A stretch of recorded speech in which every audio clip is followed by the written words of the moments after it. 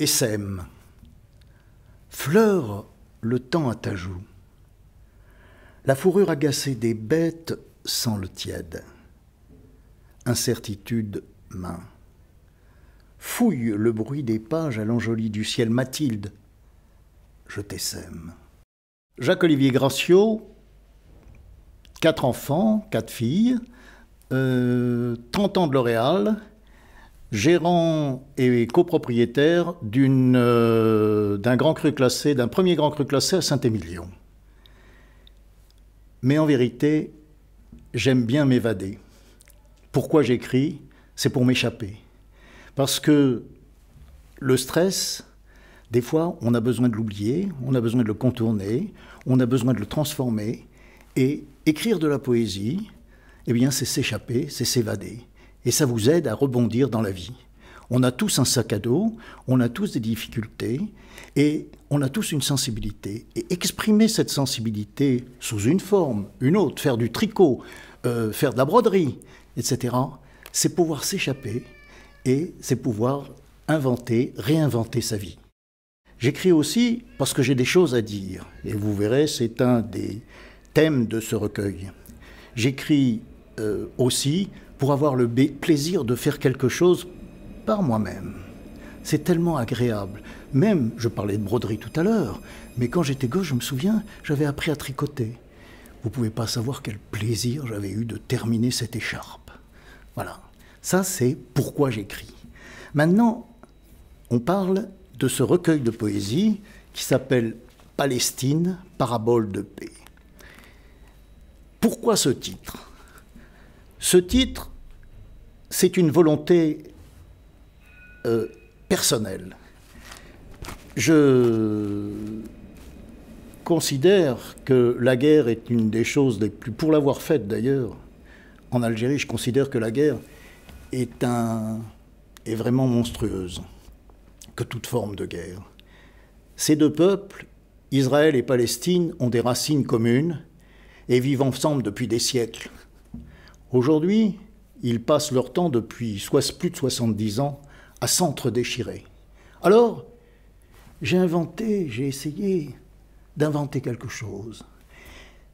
J'ai dit un homme, Israël, une femme, Palestine, et j'ai reconstruit une histoire d'amour entre Israël et Palestine. Et j'ai essayé de réinventer et de les réconcilier dans l'amour.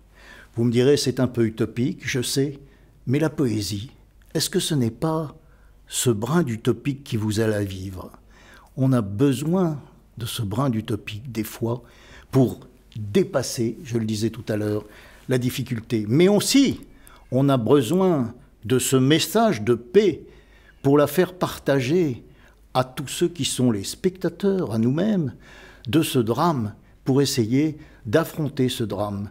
C'est un poème qui est aussi un poème militant. Les autres poèmes sont divers et variés, puisqu'il y a même un slam, j'adore le slam euh, de tous les de différents auteurs, je trouve que c'est créatif par la par le mot, par le langage, par le rythme, par beaucoup de choses. Et donc, si vous voulez, j'ai un slam, j'ai de la réflexion dans Mangeur d'ombre. Mangeur d'ombre est un, poème en prose assez long et qui fait une, sorte de présentation euh, du paradoxe entre la lumière et l'ombre. À partir de ce paradoxe, eh bien, j'entraîne le paradoxe entre l'homme et la femme, j'entraîne le paradoxe entre l'adulte et l'enfant, entre le jour et la nuit, entre l'arbre et l'air.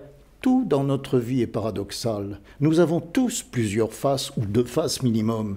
Et c'est ces deux faces, c'est le jeu entre ces deux faces qui amène la vie. Il y a la nature.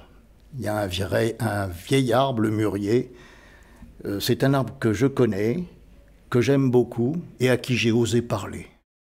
Ensuite, il y a ma fille. Il y a une de mes filles, j'ai quatre filles.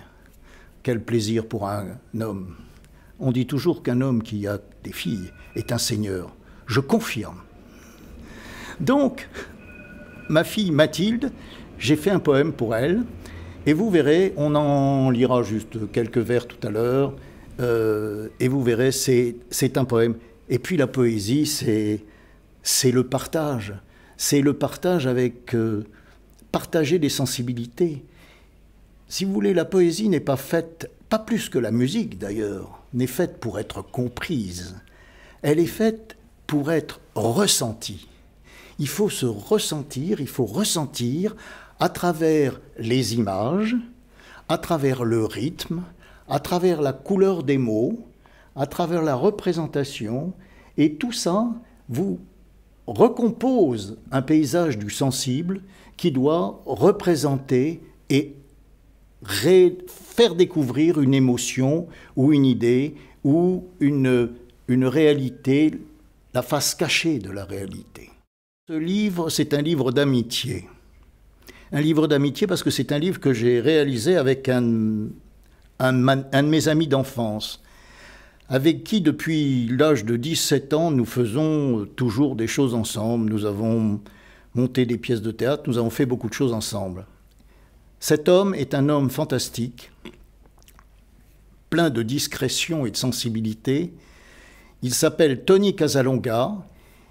Il est peintre, sculpteur, scénographe dans un petit village en Corse de 70 habitants. Un trésor. Il vit là-bas. Il n'a pas pu venir cette fois-ci jusqu'ici et j'en suis un peu triste. Mais enfin, et cet homme a fait toute l'illustration du livre. Et comme pour les poésies, j'aimais des choses, présenter des choses différentes de la poésie, pas me conformer dans un style, m'enfermer dans un style, m'enfermer. Non, j'ai voulu montrer que la poésie était comme la vie, pouvait être très diverse. Et lui-même a fait la même chose et a illustré de 21 dessins ce recueil de poésie. Et il donne, ça donne, c'est quelque chose de, qui renforce la variété du livre, mais renforce aussi sa résonance, et puis son amitié. Et il a créé et des dessins en noir et blanc, qui sont des techniques, chaque fois il a varié la technique, il a fait de la, de la plume en noir et blanc, de l'encre plume, de l'encre pinceau, de la créer une technique tout à fait particulière qui donne des atmosphères, des ambiances particulière. Et ensuite, il a fait aussi du crayon. Vous verrez, il y a des dessins d'une très très grande délicatesse sur certains poèmes au crayon, avec juste un trait de crayon. C'est d'une finesse remarquable. Ta parole impatiente cercle l'espace et trace l'exigence.